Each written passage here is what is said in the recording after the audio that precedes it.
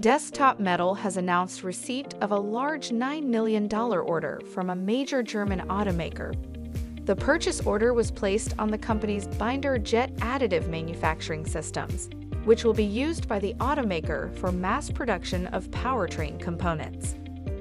The company says that it is the second order from the same automaker in less than a year, increasing the client's purchase of Desktop's additive manufacturing systems to $16.9 million.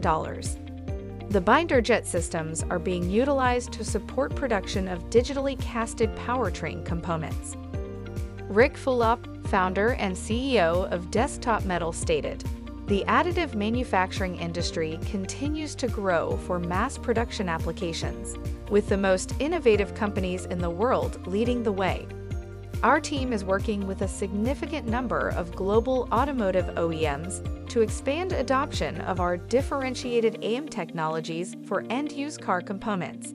And this most recent order further demonstrates our customers' success changing the way they make products and supports Team DM's vision for additive manufacturing 2.0. Founded in 2015, Desktop Metal is based in Burlington, Massachusetts.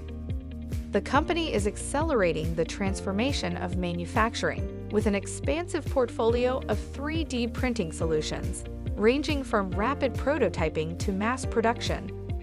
Shares of Desktop Metal trade on the New York Stock Exchange under the ticker symbol DM.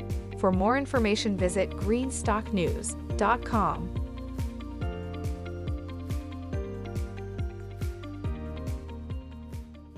Thanks for watching Greenstock News. If you like the video, please hit the like button.